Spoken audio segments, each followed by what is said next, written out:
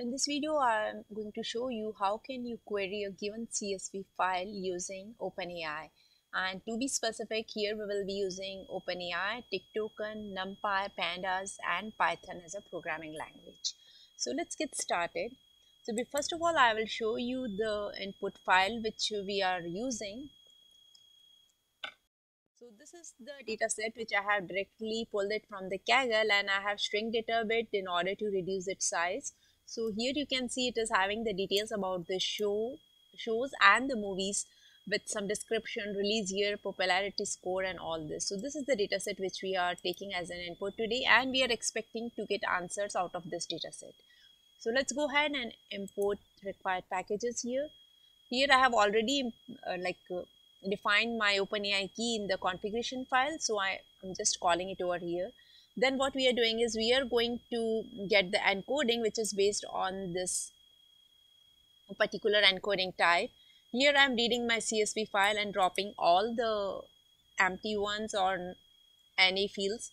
And then i'm saying create the data frame with these titles. So these are the columns which i'm considering. And then i'm constructing a summarized column which is nothing but the information from all these columns and at the last we are just saying get me the tokens res uh, with respect to every single row. And that's the reason we are defining here encoding let me quickly run this and show you just uh, two rows so that you can understand what we are trying to do.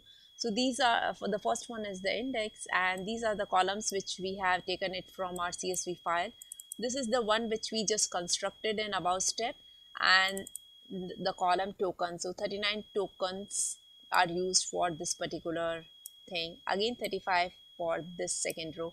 So this is how we are constructing. So further if we need we can put a check on the tokens or we can decide that whether we need to divide this particular data into multiple rows or whatever decisions we want to take. Okay so once this is done next thing we are going to calculate the embedding for the given text. So for calculate the embedding we are using OpenAI embedding create endpoint which is using text ada text embedding ada 002 as the embedding mode. And this function will give me the result of the encoding. So once the encoding is uh, done this function is giving you the encoding only for the one row. So here i'm saying do the same thing for my entire data frame. So that's the reason data frame is my parameter here and i'm doing this on the summarized field. So let me quickly go ahead and show you what we are trying to do here oops so I need to run this. Let me run this first okay and get data frame. And it will show us like how the embedding looks like. So this is the embedding which got generated and zero means it is for zero row this is the embedding. Similarly for first row we will have the embedding. So this is just the gist of how it looks like.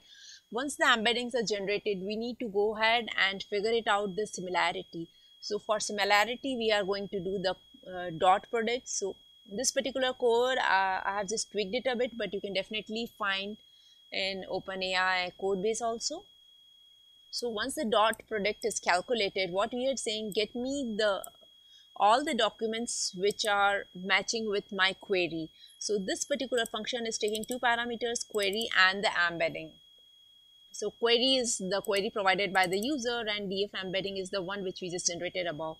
It will take both of these things and calculate the vector similarity and whatever the response is it will just return you in like reverse order wherein the most similar ones or the close one will come first so this thing I am going to call on this particular query and I am saying which movie uh, talks about magical world. So according to this data and the embedding these are the three embeddings which are very close. It means these are the three rows which are very close to this particular questions. And it is giving me three because here I have mentioned it as 3 and if you are not mentioning any anything then it will get you all the matching ones or all the rows which it has used to traverse your results.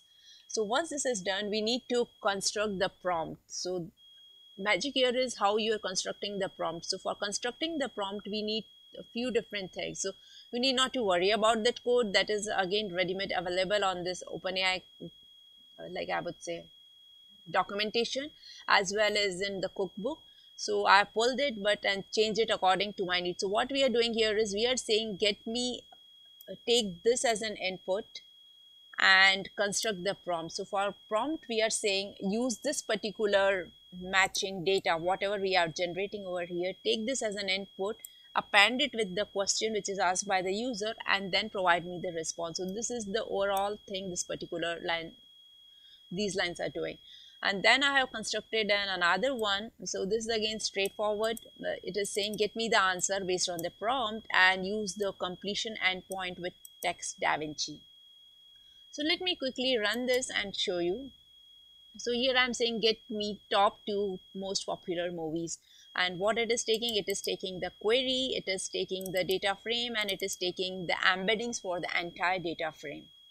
So here you can see the output is the wizard of oz and gone with the wind. So if i will show you uh, let me quickly open up that csv file so this is my csv file and you can see that the two movies which are having the highest popularity score is this one which is the wizard of wizard of oz and the next one is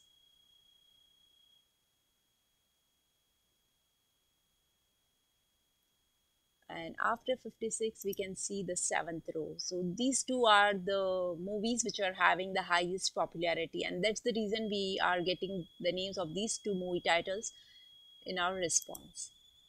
So i hope you understood the concept and what we are trying to achieve here. Uh, so it's kind of very easy. And if your csv file is too huge or the like the area uh, line which is having many number of tokens then I would suggest you to break it down into multiple rows and that would work for you. I hope you enjoyed watching this video and thanks for watching.